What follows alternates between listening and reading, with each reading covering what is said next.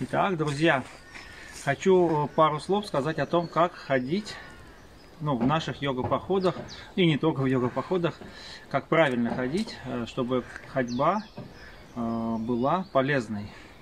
Первое. У нас есть ось, ось таза и ось, вот эта плечевая ось, да?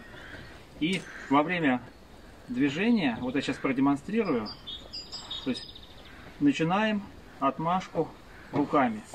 Вот я сейчас пойду.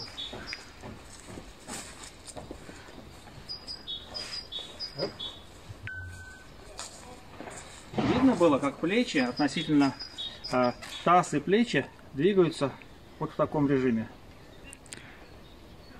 Вот. Если вы захотите, ну, холодно, может, руками, руки в карман.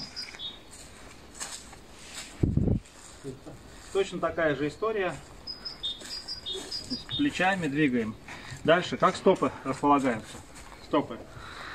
Не так идем, не так, не так.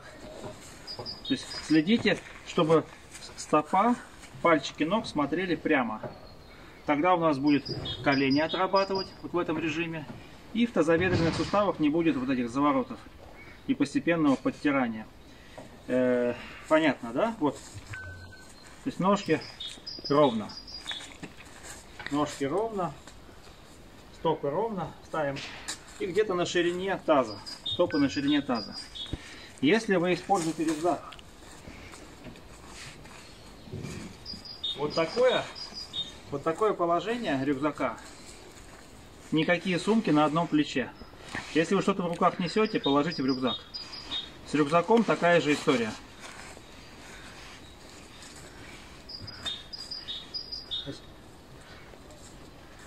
Обязательное использование рюкзака. Дальше я под видео еще напишу вообще полный список. Я просто хотел продемонстрировать, как идти именно. Полный список рекомендаций и что нам это и что нам за это будет. Вот. Хорошо.